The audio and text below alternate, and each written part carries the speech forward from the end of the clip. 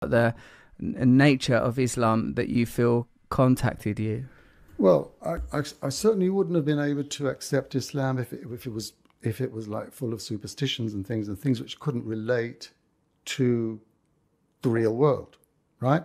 And that I would say is the key, because when I started reading the Quran, one of the things that just I woke up to was the Quran is full of directives to make you think, not to make you follow rituals, but to make you first of all think. So then it talks about, for instance, and I, don't know any other scripture that does it to this degree, you know, where it points you to the sun, it points you to the moon, it says, these are creations of God. And the night and the day is a miracle. Is a miracle.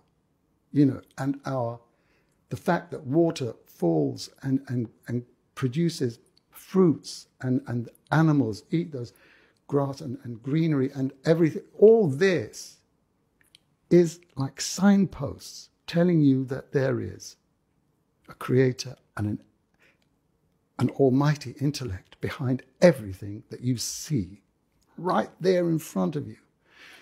That's very, very important because it didn't mean I had to, you know, believe some kind of unseen, you know, uh, um, dogma without having perfect evidence in front of me.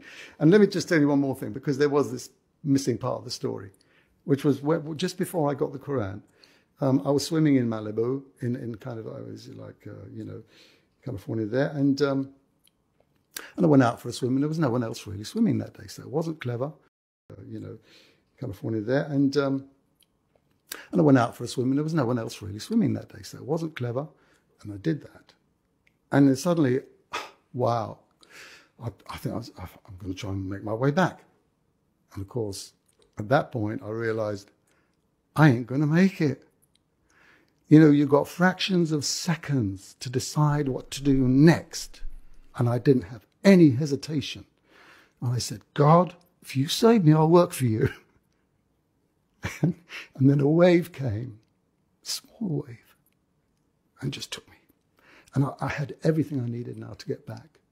So people could say, oh, that's a coincidence. Hey, that's the most important coincidence ever happened in my life. As they say, coincidence is sometimes the way that God keeps himself anonymous. But this was no anonymous. This was me and God.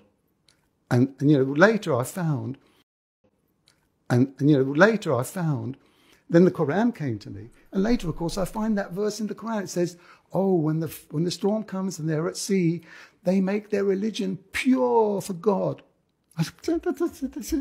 So all these steps and signs, you know, I was reading and were bringing me closer and closer. What could I do, Russell? What could I do? I had to submit.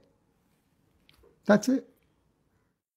Yeah, I really identify with what you're saying about recognizing that instead of looking for some peculiar dualistic uh, proof of God, you know, the lightning flash or the voice from on high, see in all things the divine beauty of nature and the potent intellect that we can read as being behind it.